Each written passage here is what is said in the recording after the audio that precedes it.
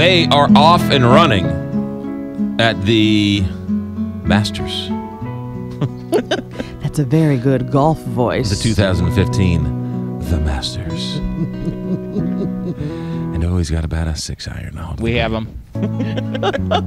You like that? You huh? you know what? That could be your second job. How do you do? Yes. All right, let's go out to Augusta National, the site of the 2015 Masters, from Golf World Magazine senior editor Mike Johnson. Mike, are you there? I sure am. How are you today? Thanks for joining us. They're off and running, right? They sure are. Uh, your early leader is Charley Hoffman, who's uh, two under par. I wouldn't uh, expect that one to hold up, even if he uh, finishes the round as the leader. Fact is, the first round leader's only won once in the last 30 years. Not only that, but the par three winner has never won, right? Boy, they haven't, but Kevin Streelman, who won it yesterday, is a winner anyway. I don't know if you know the story, but he had a Make a Wish kid on the bag yesterday. Really heartwarming thing. Really happy for Streelman, who's truly one of the authentic guys out here. Yeah, that's great news. And did did I see Jack Nicklaus had a hole in one yesterday? He sure did. Um, you know, it was something to see. Jack hit it about 15 feet, 20 feet past the hole on number four on the par three course, trickles back into the hole. And then the other thing that people kind of missed was on the eighth hole, he almost did it again. He hit the flagstick with his tee shot. If that one had gone in, the place might have gone totally up the ground. It's pretty hard to uh, swing a golf club with six green jackets on, though.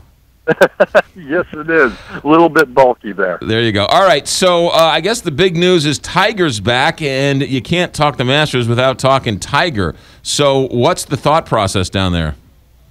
Well, you're right. It's almost a federal law that you have to talk about Tiger at a major championship. And I think the talk has changed as the week has progressed. When he first got here, everyone's kind of like, well, can he make the cut? Can he even play 72 holes of golf? And now as the weeks progress and we've kind of gotten a glimpse of him, played one nine-hole practice round really well. Um, you know, doesn't seem to have any sort of big issues with his short game as he's practicing. And then you consider the track record. 17 starts, 16 top 25s, a host of top 10s, four wins, and all of a sudden the odds in Vegas have plummeted from 50 to 1 to 20 to 1. So I think people are thinking, you know, we might see a glimpse of Tiger here. He's also got a flair for the dramatic, and if anybody can do it, that, that guy knows when the cameras are on and when, when he's on center stage. Well, he does, and I think Augusta National is also the place where knowledge plays a big role. And we've seen some people who have the experience and the resume kind of come out of areas where they weren't playing well to play well. Yeah. Mickelson's done it a couple of times, and of course Nicklaus in '86 when nobody thought he had a chance. So could Woods pull that off this week? Yeah, he could. I'm not expecting it. I'm going to call somewhere between 20th and 25th place, but I think he'll put on a reasonably good show. We are seeing somewhat of the changing of the guard, and some of the young guns are, are coming up. Who who are some of the favorites in this new young group of players who's coming up? Well, I think a lot of people are focusing clearly on Rory McIlroy and Jordan Spieth, who's had a great run, and he finished second last year. But the two players I'm focused on this week are Dustin Johnson. He hits the ball mile, 318 yards off the tee, and when he gets his putter going, he can really get it going. So he's a guy to watch out for.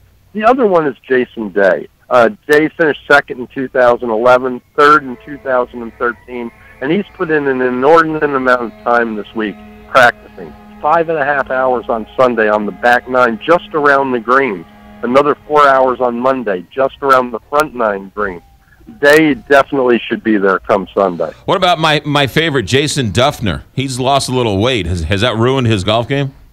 Well, you know, Jason's got a lot going on, right? I mean, yeah, he's got the different physique, but uh, you know, he and Amanda recently announced their split, and uh, that mentally obviously has to wear on him. His golf game has not been good this year.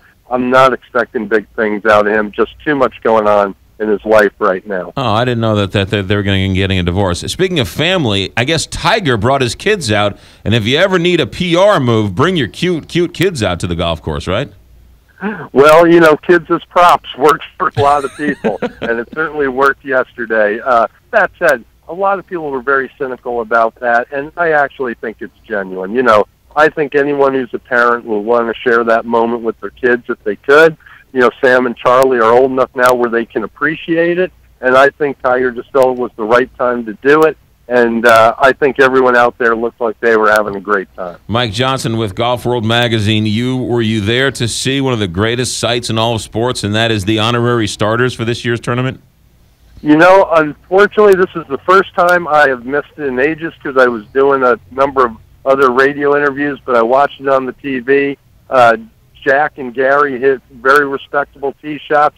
Arnie hit kind of this low hook to the left, pull hook to the left, but it doesn't matter. You know, Arnie just came off shoulder shoulder surgery.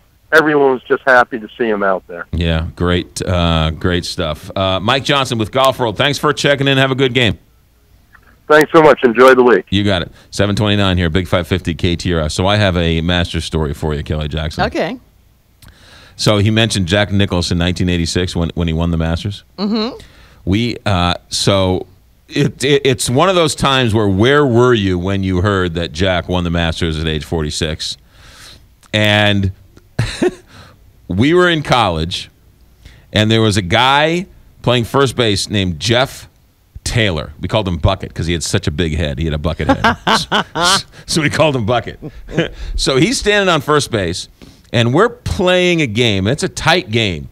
And the coach goes out to the mound to talk to the talk to the talk to the to the pitcher, and it's a very tense part of the game.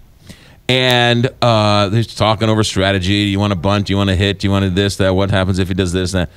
And all of a sudden, the guy on the announcer in the stadium says, "Ladies and gentlemen, we've just learned that Jack Nicklaus has, you know, won the Masters at age 46." Mm-hmm. And Bucket, standing on first base, s- starts screaming and yelling and ranting and raving like, This is all- this is yeah!" He's, he's playing in the game, and the coach looks over to him. He's like, "What are you doing?" And he's like, "Jack Nicklaus just won the Masters." I never forget that. I was like, "Wow, this is a strange place." Seven thirty-one here, big seven thirty-one, big five fifty KTRS.